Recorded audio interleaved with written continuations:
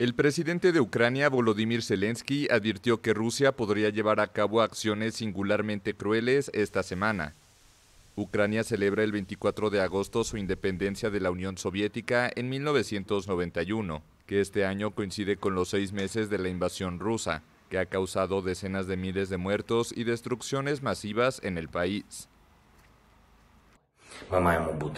Deberíamos estar conscientes de que Rusia podría intentar hacer algo particularmente repugnante y violento la próxima semana. Es nuestro enemigo. Pero Rusia ha hecho constantemente cosas repugnantes y violentas cada semana durante los últimos seis meses. Ante estos temores, las autoridades ucranianas anunciaron la prohibición de cualquier manifestación pública del 22 al 25 de agosto en la capital.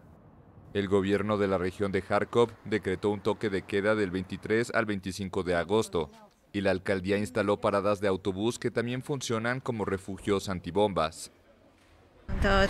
Es muy útil porque a veces estás caminando aquí en la mañana y los bombardeos son muy ruidosos. Ahora nos esconderemos aquí. Agradezco que hayan pensado en eso.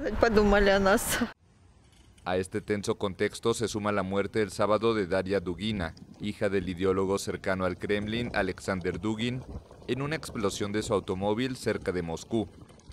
De momento nadie reivindicó el atentado y las autoridades ucranianas rechazaron estar detrás del asesinato,